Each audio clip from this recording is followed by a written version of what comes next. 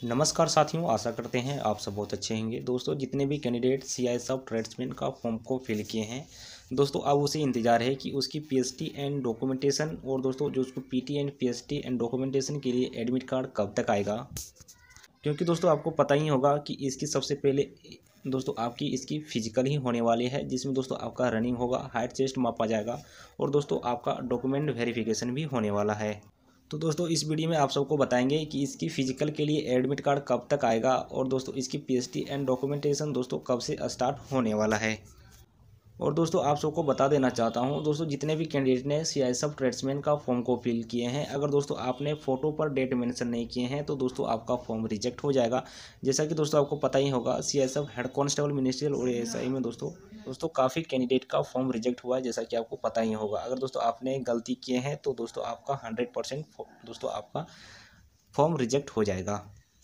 चलिए दोस्तों, बिना टाइम वेस्ट किए हम आपको बता देते हैं।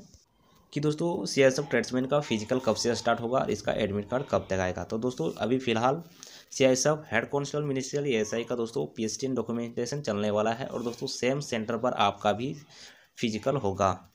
तो दोस्तों एस सी एम और एस आई के दो, लिए दोस्तों इसकी पी एच डी फरवरी तक इसकी चलने वाली है। फरवरी के बाद ही दोस्तों आपका फ़िज़िकल होगा। तो दोस्तों आपका जब भी P H D and documentation और दोस्तों पी टी स्टार्ट होगी तो मार्च के महीने में ही दोस्तों आपकी होनी है। तो दोस्तों आप बिंदास रहें। आपका एडमिट कार्ड दोस्तों फरवरी के लास्ट वीक तक जारी कर दिया जाएगा और फाइनली दोस्तों मार्च में आपका फ़िज़िकल भी स्टार्ट हो जाएगा। क्योंकि दोस्तों सी एस एफ़ की भर्ती है तो सी एस एफ़ के सेंटर में ही आपकी फ़िज़िकल होगी। आप जहाँ भी देख सकते हैं, जहाँ पर दोस्तों हेड कांस्टेबल म्यूनिशियल और एएसआई का पीटीएन डॉक्यूमेंटेशन चलने वाली है। टाइम में दोस्तों दो फ़िज़िकल नहीं हो सकती, इसलिए सबसे पहले एस को दोस्तों जब इसकी फ़िज़िकल खत्म हो यानी कि P T and P documentation दोस्तों खत्म हो जाएगी, उसके बाद ही दोस्तों ट्रेड्समैन के लिए इसकी फ़िज़िकल के एडमिट कार्ड को जारी किया जाएगा, उसके बाद ही दोस्तों उसका फ़िज़िकल का प्रोसेस स्टार्ट कर दिया जाएगा।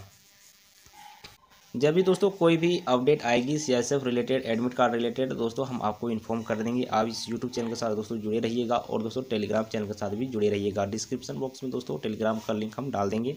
वहाँ से ज्वाइन ज़रूर कर लीजिएगा। फिर से मिलते हैं दोस्तों नेक्स्ट वीडियो में। तब तक के लिए जय हिंद, जय भारत।